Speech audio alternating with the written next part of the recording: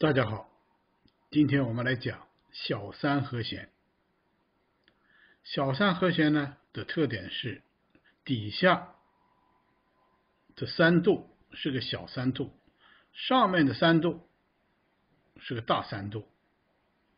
好，那么就是说，从最底下这个音到底这个三音是小三度，也就是说四个半音。那么从中间这个音到上面这个音又是一个三度，这个三度呢是个大三度。好，我们对比一下，昨天我们讲的 C 大三和弦呢，是底下这个是个大三度，上面是个小三度。好，今天倒过来了，变成小三度大三度。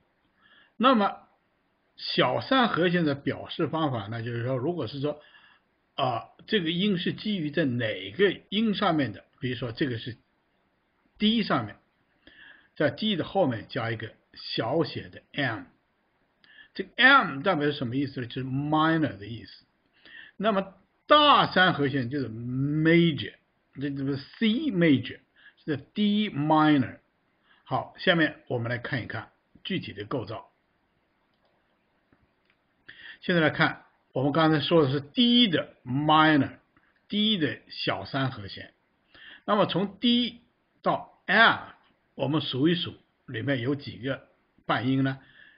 这个音到这个音是半音，这个音到这个音是半音，这个音到这个音是半音。那么这个三度只有一二三四四个半音。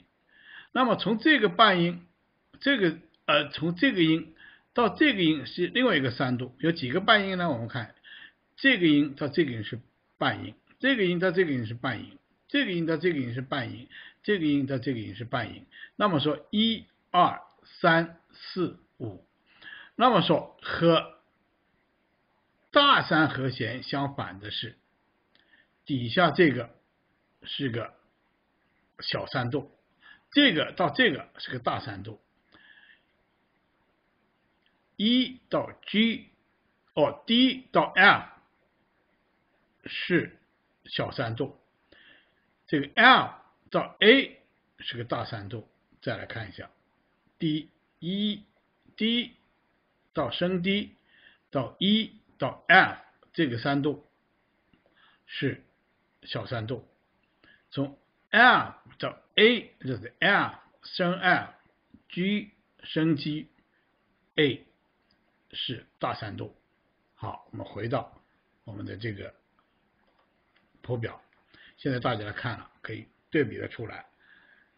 小三度在底下的是小三和弦，大三度在底下的是大三和弦，这就是大三和弦与小三和弦的区别，这是个最大的。也就是说，我们常说的是男性与女性的区别。这个音有时候很早的时候，我们翻译的时候呢，也翻译成这个是。长和弦，这个是短和弦，也可以翻译成阴阳和弦、阴和弦。好，今天我们就讲这个地方，明天我们来讲减三和弦。再见。